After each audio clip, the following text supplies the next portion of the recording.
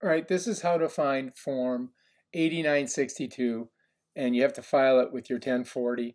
And this has to do with if you received uh, premium credits from Obamacare or the, uh, you know, the Health Care Act. Um, so what I've done is I put 1040 Form 8962 in here, and I just click here, and it's going to pull it up, and it's already here anyway. Here's the form. Form 8962, Premium Tax Credit. Click on that and it brings up the form and um, you're going to have to go through this, fill it all out, premium tax credit claim, reconciliation of advance payment of premium tax credit. So if you paid too much, you're going to go through that. Now they're going to send you another form from whoever your carrier is, Blue Cross or whatever it is, and then you're going to have to fill all this out. It's a pain in the butt, but it can be done and you can do it. It's just math.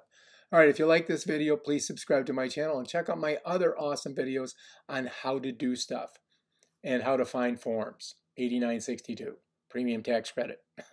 Peace out.